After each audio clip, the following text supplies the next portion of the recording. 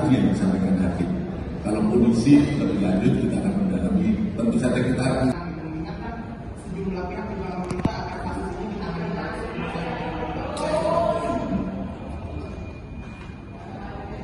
Terima kasih eh, terkait kasus Peggy tentu saja kami sepakati eh, kita akan melihat Polda Jabar tentang penanganan yang sudah ada walaupun kami sudah asistensi tentu saja asistensi ini kan menyangkut berbagai aspek aspek pendidikannya ataupun aspek yang berkembang di masyarakat yang tentu saja kita dalami.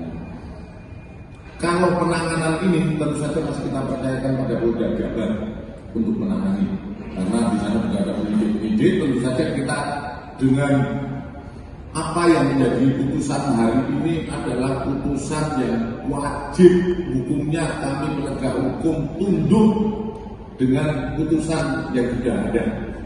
Walaupun saya sampaikan bahwa putusan apakah yang salah tangkap atau tidak, ini kita masih melihat melihat sejauh mana uh, proses yang ada. Kalau karena kalau kita lihat dalam proses uh, materi pra peradilan tentu saja ada formilnya mungkin yang penyidik uh, tidak melaksanakan formilnya. Walaupun kita belum tetap kita pada prinsip adalah praduga tak bersalah. Praduga tak bersalah. Kemudian apakah formil yang seperti kita ikuti bersama bahwa hakim juga menyampaikan ada formil-formil yang tidak dipenuhi oleh penyidik. Ini ini tentu saja menjadi evaluasi kita bersama. Kita juga melihat evaluasi-evaluasi terhadap penyidik-penyidik yang ada, bagaimana proses itu.